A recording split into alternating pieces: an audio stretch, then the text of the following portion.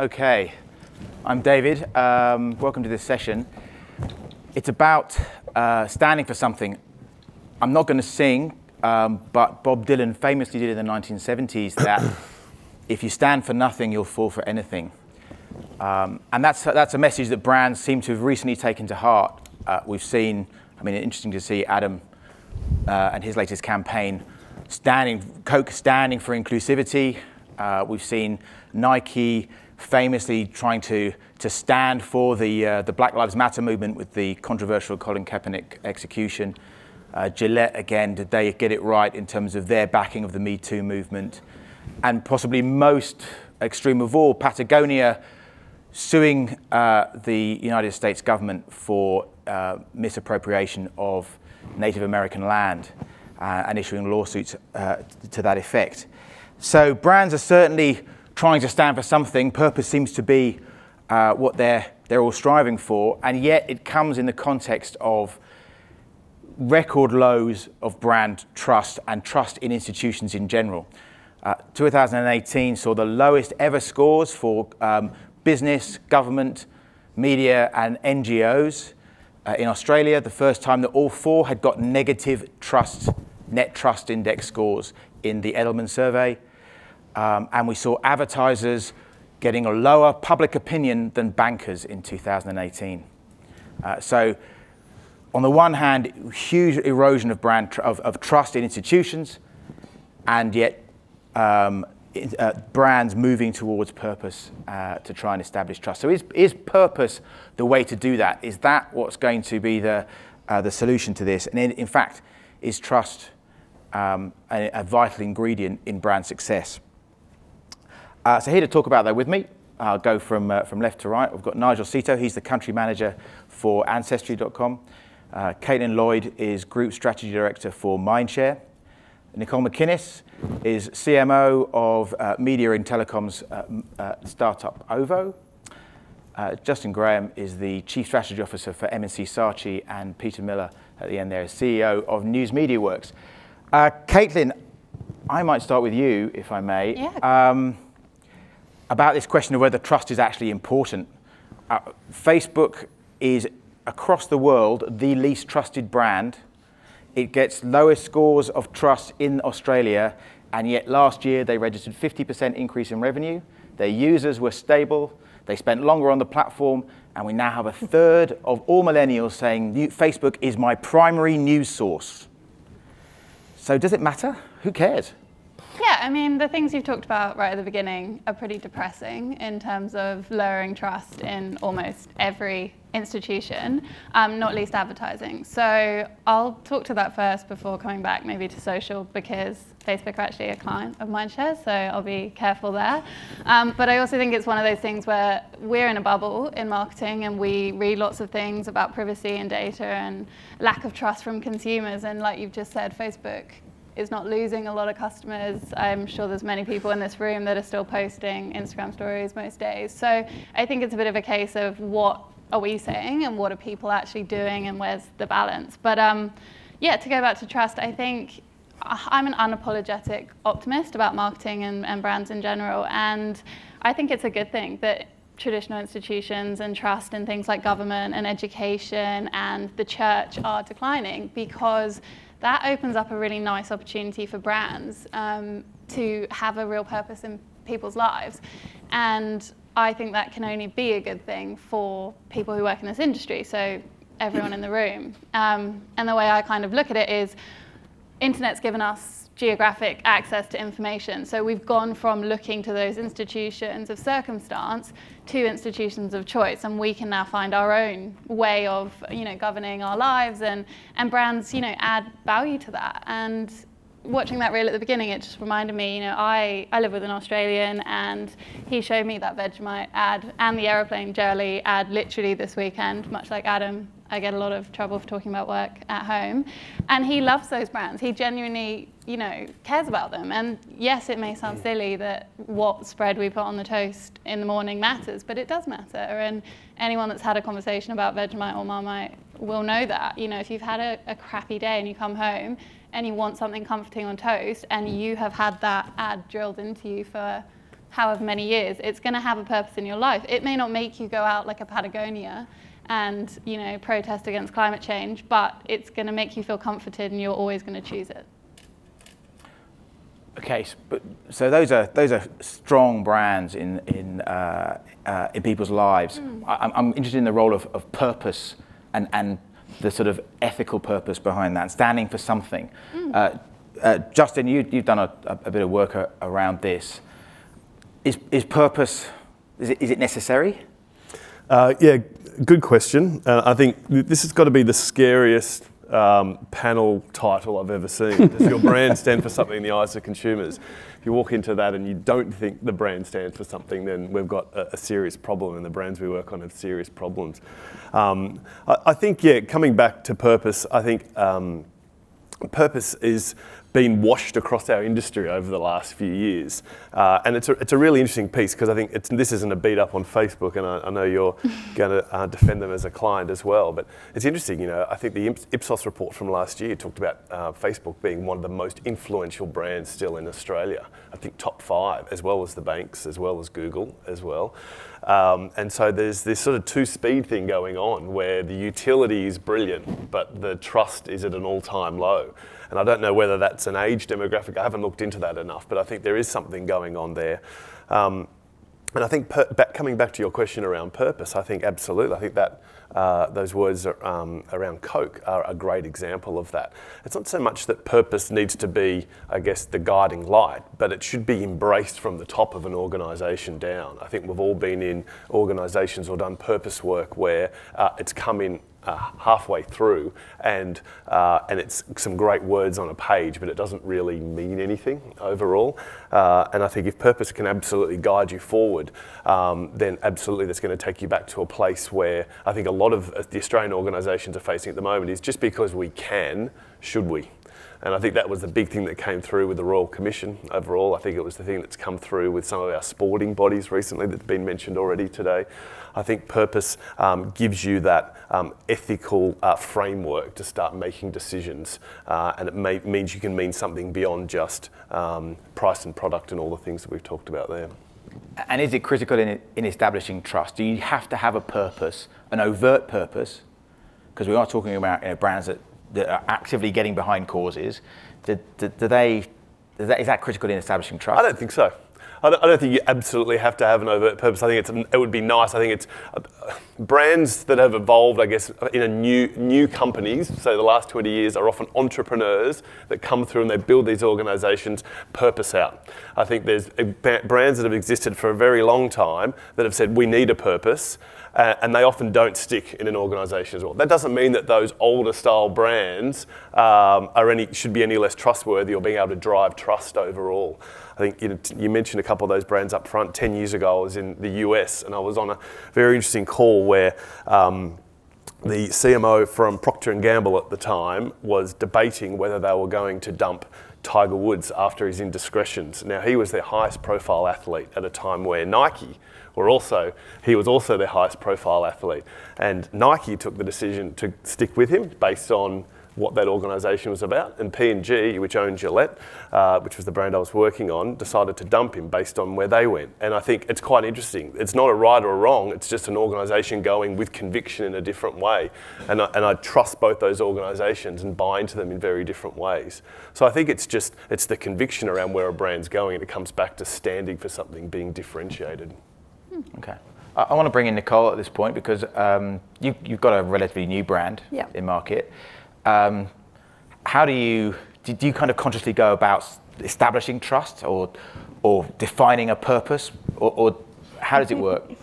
yeah, I, I, mean, you definitely need trust, especially when you're a new brand, like you say, because um, even if it's a simple utility like your phone, it's actually necessary to your life. So if it, if it doesn't work, it's going to cause real problems. So you need to establish some level of trust. But I don't think purpose um, is necessarily the best way to do it. It's kind of like um, it's kind of like people went, oh, we need trust, so let's link that to the most logical next step, which is purpose, which is sort of emotional as well. They're both emotional, so let's go there. But I think what we've done with purpose is we've completely overestimated the, the state of brands in people's minds first of all. Most of the time, brands pop in and out of people's minds for split seconds. And it's in those moments that you create utility and make their life better, which is much more important to them than if you believe in something over here, because they're not actually thinking about you in the context of their lives on a daily basis. Um, it, it, may, in a highly competitive situation, make you be a choice over another commoditized brand that's exactly the same. But I think we um, also underestimate the cynicism that people have. So if you do, you know, latch onto a purpose with your brand and it doesn't actually, it's not purpose built from the start, like that's why your brand exists people will see through it straight away and just go, oh, they're on the bandwagon, and they and they'll actually erode trust. So it's a really, it's a fine line with purpose, and I think it's better if you start unless you unless you have a purpose-built company, um, and the whole startup is based on that. I think you, you're better to watch those moments that you're in people's lives and make those those people's lives better, and make sure that's right and focus on that more so than running off and doing something the media will latch onto and, and it look not genuine. Okay. Um, authenticity, I think, is, a, is going to be a, is a key part yeah. of this. And, and people talk, oh, it's one of those buzzwords, right? I don't know if it was mentioned in that list of, of uh, bullshit bingo, but, uh, but it's, it's, it's, probably could have been. Um, and, and so many brands these days are, are, are global, and yet uh, to be authentic, they've got to act local. So, uh, and how much can you, how do you do that effectively? Nigel, you, are obviously running a, a, brand which is international, but trying to define it here in, in Australia. Uh, so how do you do how do you do that with a, uh, a jug, make that juggling act work? Yeah, well, I think like it comes down to if there is, uh, you know, we've talked about lofty purposes. I think we're very fortunate at Ancestry that we are a company that has a real impact on people's lives. Uh, so we do have a mission about uh, we empower journeys of personal discovery to enrich lives, and that sounds kind of lofty. And Caitlin, don't hit me, but, um, but you know, when you see the effect that our brand does have on people, it really empowers like everyone from the CEO down to really live that purpose. So I think the beauty of that from a global level, like we can add local nuance and insight to that in Australia. So I think one of the key um, levers you have when you're working for a local part of a global company is making sure you're really tapping into local nuance and insight because there's nothing worse than trying to transplant an American tone of voice or an English tone of voice and just plopping it in Australia because people can see through that. I think customers and consumers are much more savvy now about you know brands that are talking to them and if you're trying to uh, talk about something that's not relevant or talk in a way that just doesn't have any impact on the people, like people can see right through that. So I think the local nuance and insight is the really key part about making sure that it's relevant it's an interesting point you make about the internal stakeholders. Because there's an element of this, isn't there? Let's, let's be honest. There's an element of this which is which is internal marketing. You're just trying to make a you're trying to make ourselves feel better as marketers. So we're doing something important, and it's you know I can go home and tell my mum I'm doing got a real job, and and there's an element of trying to you know boost uh, internal employee engagement, make everyone feel like they're on a you know they, they're, they're curing cancer and saving the world when actually they're just manufacturing toilet paper. I mean, it's, it's you know, it's, it can, it, it, how much, what point do you cross the line towards this, this is bullshit uh, and is going to be called out as such? Well, I think at the end of the day, you have to look like why does your brand or company exist? Like if you are like a mayonnaise manufacturer, like great, like make the best mayonnaise ever. If you're a fly spray, fantastic. But I don't think you need to ladder up every brand. I think to Justin's point, it's great if you have a unifying purpose that the company can get behind, but that doesn't need to be global peace. Like if you're, you know, a sock company or something like that, it can just be like making the most comfortable socks ever or making Mortein that works. Like that's great. Uh, I think at the end of the day, it's just about it has to be true and it has to come from the top of the organization down. Uh, if you bring it in midway through the organization and it's just a brief that goes to your creative agency or it's a PR release you put mm. out to media and you start you know, talking about it, but you're not actually living that in your supply chain or your organizational culture, that's where it starts to fall apart because if you're not living and breathing it, you can't actually talk about it. Yeah.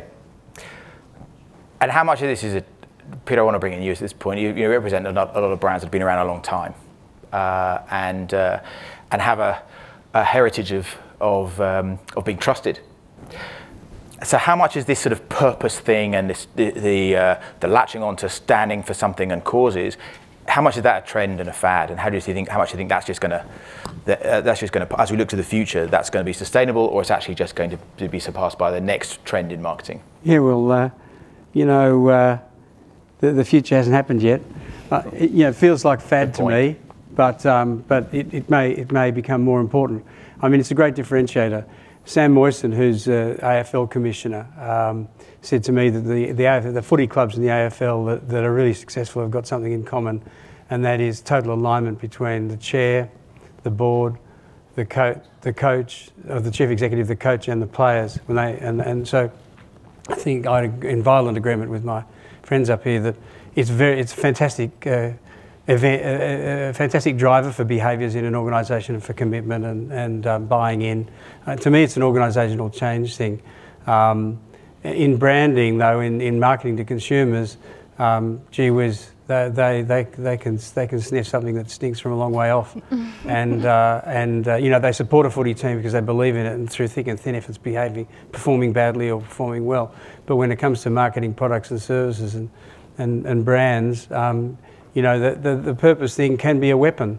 And, uh, you know, we, have seen some recent exa examples of it with Nike.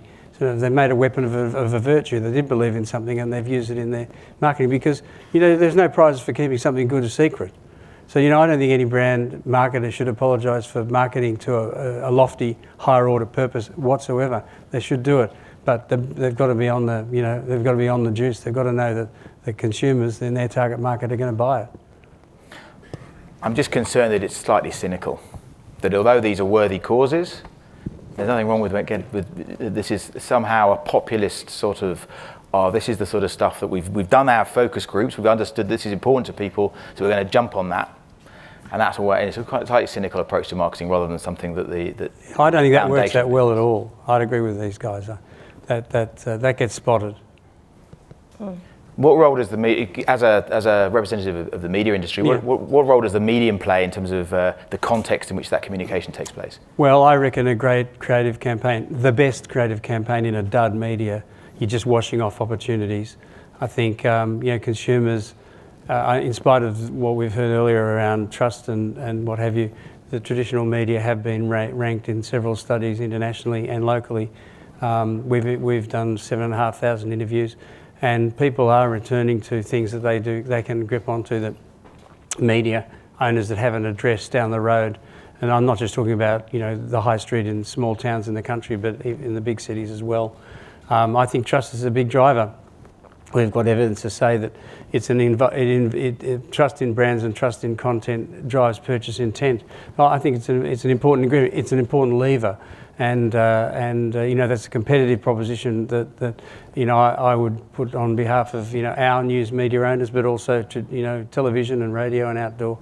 Um, these are these you can you can always find someone to complain to there, and they'll listen. Justin, would you would you agree with that? Um, yeah, I think I was actually thinking more around um, something you mentioned up front, Caitlin, as well. Just something to, I guess, disagree, understand where you're coming from around mm. the um, the fact that there's a huge opportunity for us in the room here to be looking at um, uh, the downfall of trust around our institutions provides an opportunity for us as brands. I think that's absolutely right. And maybe it's too ideological, but actually, I think we want all boats to rise again. We want better leaders across all institutions to be driving that, and we want to be a part of that as well. I, th- I do think it's interesting, though, around the opportunity that's happened because when the shit does hit the fan, um, it seems that um, people that understand people and I think there was some conversation from um, Coke around the customer um, is a truthful source in the end. People that understand people should be the people in this room are the ones that are called on to understand how we get ourselves out of it. How do we start taking a purpose or a thought through the whole organisation? I think Nigel, you talked about purpose only purpose if it goes into supply chain and all the elements of a business as well. And I think for many years. Um, what we've done, media and advertising, has been distant to the actual commercial um, driving opportunities of an organisation as well. And what has happened over the last few years is that as we've started to look at trust as a, major issue and how purpose could potentially solve that, it's called on people in this room, hopefully, to start bringing that through. And I think that is a huge opportunity for us. Do you mind if I respond to that? Sure. Yeah. Um, and I guess the thing for me is that distance between media, right? So I have a lot of banking clients, I also have a lot of insurance clients. So the Royal Commission is always a really fun time where they come to us and say, what do I do? Do I pull all of my advertising or do I stay out there and mm. just try and push it through? Um, and it's different for every brand, obviously. But I think for me, coming back to that purpose and whether it's built in or whether it's a bolt on, that's the difference. So, as an example, because I always find it easier when people give examples for IAG, they have had a partnership with the SES for however long. So, again, my partner likes to be with NRMA because he's from New South Wales and he knows the SES if a you know tree falls down like it did last week. Our mate and her husband, who volunteers, are going to be around to fix it. So that gives a bit of credence to them going out and saying, "Help us, who we are." Whereas, and I'm slightly worried Toyota's a client of yours, but they've done some great advertising, and I think they've done some great purpose as well. So for anyone that didn't see it, they did a Land Cruiser um, huge piece of innovation where they found a really great human insight, which was that in the outback, people are actually closer to a Land Cruiser sometimes than they are to a mobile signal. So what can we do if we turn Land Cruisers into mobile signals so that people can then, if they're in an emergency, much like the SES, they can get help. That was a beautiful idea and I think the research that went into it was great, but nothing happened after that. And that's where that cynicism, I think, from people comes in, where it's like, well, was that just to make ourselves feel better and show our mum that we won an award, or was it to help people? And again, I don't know that campaign behind the scenes, but those are the things where I think purpose has to follow through. And the Gillette ad is a great example of that, where lots of people in Australia and the UK who have a very high bullshit detector were like, this seems really cringe and I don't want to associate it, whereas it might have gone down better in the States, were quite surprised when they realised, well, Gillette's actually putting the money where the mouth is, and they are investing in the causes that they care about, but you might not necessarily get it from watching that mm. ad. Mm. And you've got to expect that people are willing to research, which to your point earlier, most people don't care about brands at all unless it's in the next second where they're going to use it. Mm. Okay, I'm, I want to go on to, uh, to talk about uh, data in a, in a, moment, but before we do that, is, has anybody got any questions for the panel on, on this area around trust and purpose? Got any, any questions from the floor?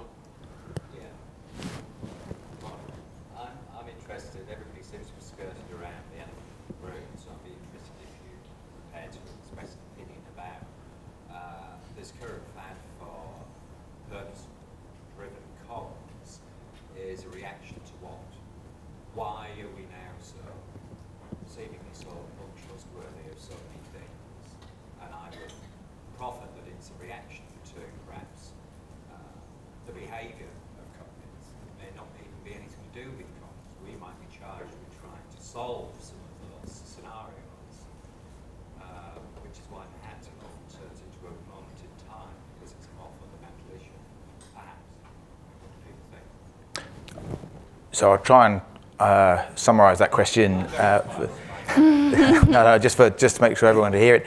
But uh, I think the question was, why have we got to this point? Why why have uh, has brand uh, trust been eroded, and why do brands feel they need to have now a purpose or jump onto a, a, a cause to stand for something? Uh, is that more or less the, the gist of your question? Who wants to take that? Uh, Everybody. Yeah. oh, look, I, you know, I just think it's a mad rush for a competitive edge, and you grab you grab one whenever you can, and that's not cynical as long as you're not false and and uh, you're not pretending. You know, if you've got a great story to tell, you've got to find a story which differentiates you in some way. People will do it, and I think, you know, um, the higher order issues and purpose has been a new a newfound way in the last couple of years to, to be doing that, to be telling stories about the companies and people behind brands add some passion. I don't think it's just um, bad behaviour from brands, although that definitely contributes. I think it's the democratisation of information through social media, but also the sort of the thought or the insight amongst marketers that millennials really love this. They think it's the best thing and they need it to choose a brand. So I think it's it's sort of a vortex of all three rather than just the fact that brands have behaved badly because companies haven't changed. Companies have been bad for, for decades and decades and decades. So the, I think there's, there's these other factors that have come in that, that have created this fad. Isn't there also an element of democratization here that, that you've got big corporations and big brands are associated with those corporations are lumped in with with government and other establishment organisations, institutions, then there is now a movement to say we can do something about that. You know, we're, we're seeing the rise of, of anti-establishment populism in, in politics, especially. Um, and is it, is, it a, is it a move? Is it a move by brands away from that to say, well, we're not actually establishment because we back these causes? is that a bit cynical? I, I'm, I'm a bit with Peter. They're just looking for whatever will make them, whatever's popular at the time and trying to jump on that. And I think the, the sniff test is if, if a brand jumps on the latest thing the media is talking about, then it's going to be less authentic and, and at the root cause of. Um, so a lot of brands jumped on um, marriage equality, Gillette jumped on Me Too movement. They're not going to land as well because people are seeing that the media is driving this and the brand is piggybacking on rather than it being starting with the brand and what the brand means. So I think that's the first place. And, and um, Peter put on an event um, last year where the news, I, I didn't understand sort of how you know, the podcast Teacher's Pet came about, but the editor of the newspaper talked about one of his journalists wanting to, to chase this story down. He had to let him off the payroll for six months and, and find, you know, a replacement for him as a reporter at the newspaper so that he could do this podcast. Now that's real purpose. Like that changed um, people's lives. It changed, it, it brought justice. And I think when you see purpose like that and then you see a Gillette ad or a Pepsi ad, you kind of just go, you know, there's a bit of a difference. Nigel. Uh, Yeah, I think I think there has been a cultural shift though as well that's helping drive. And I kind of touched on it before, but I think you know going back 50 years, like the church, government, there was these big institutions that helped give people their identity and they felt they belonged to. And I think certainly over the last 20 years, like brands are starting to take mantle a little bit more. And I think the big difference there is the brands that are doing it because it's authentically who they are, and the brands that are just doing it to jump on the bandwagon. And I think for us, one of the big ways of seeing that is like are the are the company's business KPIs aligned with the customer KPIs? And I think that's where some of the misalignment and issues happen because at the end of the day, everyone has profit targets to hit or uh, acquisition targets, but that's not mutually exclusive with doing the right thing by your customers. So I think when you start to focus on one, but not putting your customers at the center of that, that's when you start to move away from there. I think it's a simple thing as well that you just hear about dissatisfaction more. You don't have to write a letter to your bank to tell them you're unhappy with the way they're managing your super anymore. You can just post it, and therefore you're going to hear more people be annoyed than ever before. So you've got to have a thicker skin to be in marketing these days, I think. I And you uh, can't get too upset when people, you know, you're not going to please everyone. To Adam's point earlier, that Coke ad is not going to please a lot of people, but you've got to be all right with that. They're not the customers maybe that you want. Yeah, I think um, I feel like back to the Gillette piece, it was um, it, it was probably poorly done, but it was in the right space. I think there's an executional element and there's a the purpose element behind it, and I think that their, their global CMO Marc Pritchard, who's very similar to Keith Weed at Unilever, is absolutely driving his brands to a better place, from what I can see and what he's saying, and actually the industry to a better place around all the work that he's doing around media transparency in the US. Um, and I think it comes back to that point around, um, you know, time will tell, history will tell whether these are the right decisions because they are the right decisions to be made now. Gillette is a Gillette's a brand which is far and away the biggest male brand in the world. You know, I saw a stat that 850 million men use Gillette every day around the world. There's only three and a half billion men in the world. So, I mean, this this is this is a brand that has enormous impact on our world. And you know, the, the thinking behind that was actually breakdown of the traditional family unit, father-son relationships, um, the positive role models of parents on young boys. Actually, there, there is an opportunity for a brand that sits there in a bathroom or wherever it might be with uh, young boys that can have a positive message around what the male image can look like moving forward is actually a really positive thing. I, I didn't realise they were doing all the work in the background around supporting um, charities, etc. And I think that's that's even better. So I don't think I think it's. Um, I think if you're coming from the right place and you stick to it, these brands don't always get it right. Nike doesn't always get it right, but actually, if you stick to it with conviction, like Coke has, um, I think I think that's how you start bringing trust back to it, because at least you stand for something back to the point around in, in a consumer's mind. I will shut up about this as well, but just that point on the brand and the consumer values being the same. Gillette is a masterclass in that because although a lot of men don't like that ad, women buy the majority of mm. razors, and most women do like that ad. So for me, that's a real mm. example of a company understanding who actually buys the product and who they want to influence. Because you know, Mark Ritson, as wonderful as he is, made a huge point about Gillette's, you know, the market leader. They stand for more to lose than Nike would with the the Colin Kaepernick ad, but they're not losing much because they're focusing on the person who's buying the razor and it's a perfect example of the old Old Spice ad. Who's your actual target audience? It's not necessarily the person that's using it, it's the person that's buying it. That's a good segue into data. Mm. Um, I work out now. because there's a there's a there's a paradox here, isn't there? The, the, the, there's an expectation. We, I think we all as marketers realise that, that, that, there's an expectation from the consumer that they are getting a more personalised experience these days. More of their personal information is available. Therefore, I expect you to use that to, to customise my experience with you. And yet, the use of that data is often what erodes trust. So, uh, Deloitte survey suggests that 85% of consumers do not believe that brands handle their data with any integrity. Um, so how do you handle that? Now there's a couple of data-driven businesses on the on, on the panel here. Um, I'm gonna I'm gonna go to Nicole first for this one. Uh, you describe yourself as a data geek, but with creative heart. Yeah, um, yeah. I've been in. Um, I probably uh, before OVO, I was. MD um, of eHarmony, and so we had a depth of data about people that um, most companies dream about. Um, and actually, you probably don't want to know some of the things we knew about our customers. So, because um, they'd answer 150 questions to join eHarmony, um, so we'd know the depths of their soul, basically. but we, I mean, we didn't do anything um, evil with that. It, it was actually all shut down, and, and the algorithm used it only for what it was designed for, which was compatibility.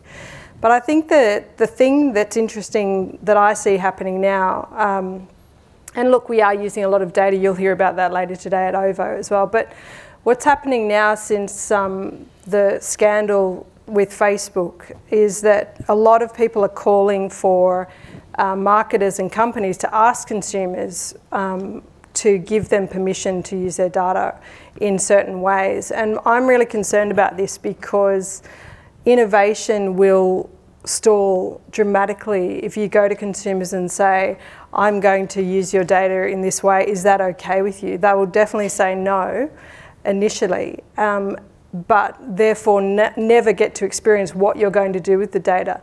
And look, I think there is, there is ways this can all go wrong, but the, I suppose my, my inner geek says most companies are trying to make the consumer's life better with this data use and it's they're just shooting themselves in the foot if they don't. So it's kind of um, it's only sort of the Googles and the Facebooks that are, I, I think, really dangerous or could turn bad, and then we're all in the shit. But other companies are just trying to to get the consumer's life better, be relevant in their lives, and that's all they're doing with the data. So I think it's I think it's a bit of a beat up, and we shouldn't be as afraid as we are. Justin, is that the answer? Not to tell them what they're do, you're doing with the data and just use it anyway and don't yeah don't be transparent. No, ask that, them that. ask them after the experience, after they've experienced what you've given them with the personalisation. Then say, is the experience good enough? And if not, then you can stop using it. but don't do it before the experience. Yeah, look, I think there's an element of truth in that. Actually, I think there's, I think. Um, you know, brands coming from the right place need to be driving innovation and um, and need to take consumers on a journey around that. Um, I think there's look, I think we're in a really fascinating time. Clearly, you know, we've just gone through sort of my health records. Mm. From a community point of view, and there's been all sorts of backlash against that. There's open banking is going to be, uh, you know, the next piece on the horizon for us, um, and that that just puts, I guess, the onus for people to start owning their own data again. And people, some people want it, some people don't want it. And there's just skepticism around that. There's just confusion around that. People love the extra services, you're absolutely right, and the innovation that's coming that way. Um, but I think overall, people are sitting there in fear around around what's going on. And I think this is before we move to a world where voice will be the primary form of communication, where we'll be sitting there and everyone will be listening all the time, and we'll have to try and reconcile how brands work in a world where all I do is I don't type, I don't search things, I just say things. And I think in that world, actually, that's truly when everyone will be listening. And then, truly, in a less private world, what data will start to really challenge how we feel about how mm. brands engage with us. Nigel, how, do you, how does Ancestry handle the very sensitive data that you guys are picking up? Yeah, it's a big challenge. It's not a big challenge, it's a big opportunity actually. So I think Ancestry is a company that's built on data and technology. So we have more than 100 million family trees that our users have actually added themselves. So that, you know, this huge, like deeply passionate community. We've got 20 billion records. We've got more than 11 million people in our DNA network. Um, there's two kind of principles that we follow. So the first one's informed consent when it comes to data. So we might disagree on that one a little bit, but just when we're talking about like DNA data and stuff like that, They don't make sure read there's them, no Nigel. surprises. Just, just saying. We have to. Uh, part of the thing is like trying to simplify because I think I was thinking about the other day when iTunes first came out and there was like 17 page documents and I'd actually read through it before I signed up and now I'm just like, yep, click agree. So I think Yeah. one of the big challenges for us is simplifying so people are able to easily see like what are the three or four key points they need to get out of this. Um, and then the other one's the value exchange. So if we are using your data in this way, this is what you'll get in return and you feel like that's a fair exchange. I mean, as you said, like when you're trying to evolve a product or a service, you, it's hard to do that without data. And if you tell people we need to use your data, we're not exactly sure for what, we're not exactly sure how we're going to use it. That, that kind of freaks people out, understandably. Um, so, you know, we use a lot of like beta pools of people and like, you know, we have some really um, passionate advocates who are really interested to be involved in that kind of stuff. Um, but the big ones for us are just, yeah, um, education, uh, consent, and the value exchange, sort of the three key things. Caitlin, do you think we've gone too far? Should we just pull back, not, not harvest data, use gut feel creativity? I don't think we've gone too far. I think I just, I mean, my job is a strategist, so I try and work out what people are actually thinking and doing versus what we think they're doing. So I love Justin's point on the digital assistants. You know, everyone's kind of saying, what if my Alexa's listening to me and she's going to tell Amazon what I'm doing? And, you know, she's personified and it, it's terrifying. And I'm like, well, yeah, that's true. But the number one Alexa skill is play rain sounds so I can sleep. Like that's that's what people are using assistants for right now. So maybe if you start to get into a deep, you know, conversation with Alexa instead of eHarmony about what kind of man you're looking for, maybe then you should worry about what we're doing with that data. But I don't think you're going to do much with rain sounds personally. And for me, I think most people just want convenience still. Mm. I'm not seeing a lot of people pulling out of, as I said earlier, social media or Woolworths delivery because they still want convenience. I don't think that the owner should always be on individuals to understand 17 pages because I'll be honest, I've never once read one of those. I, I sign them and I don't think I'm unusual in that. So Is it a generational thing? Are we going to get you know, people getting more comfortable with giving up their data or less comfortable?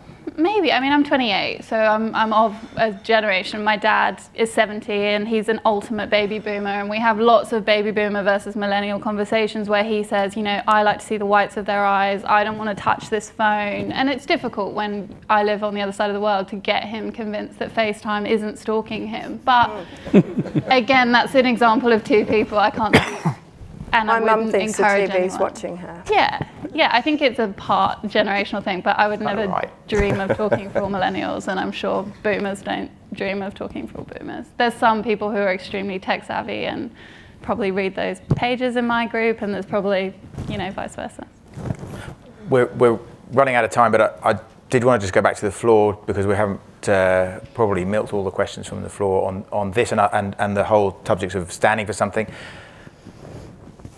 Yes. Do you think there's a, a set profit percentage that you should give to the causes that you back before it becomes credible?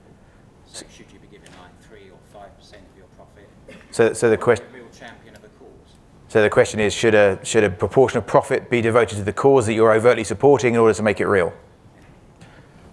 To show you're really A metric approach to generosity. Fantastic. no, I think I don't think there's any math about this. It's com- companies often make magnificent contributions behind the scenes. I mean, most people don't know. I'm, I don't know. It'd be interesting to know. I mean, IKEA is has the second largest, best, most funded foundation in the world.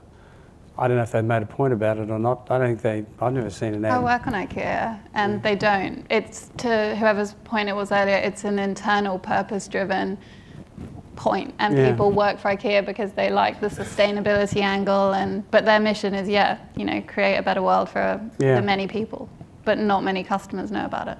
So that's obviously a big number, but they don't make a. They're not leveraging it that hard. I think it's just being meaningful, uh, doing it in a meaningful way. And I think, you know, I don't know if anyone's in the room from Microsoft, but looking at what they're doing over in Silicon Valley, recognizing that the growth of high paid engineers that have moved into Seattle has been a massive problem, a social problem for that community and that city. And Microsoft's gone out and said we need to go and invest in lower grade housing basically to allow people to come back into the community to have a more balanced environment. And I think that is directly going at something that they have created and they need to go and fix effectively from a social point of view. And that just is a, it's a huge investment and it's a really meaningful investment behind them. And I know they've made a whole bunch of PR about it. I've got no problem with that because it's in a, it, it's doing the right thing in the right way. So the consensus seems to be not there's not a number, but it needs to be there needs to be something that's Fair going on there. Yeah. Yeah. Any other any other questions from the floor? No, we have exhausted the subject. uh, okay, with that, I'd like to thank the panel um, and hand you back to, uh, to Derek. Thank you.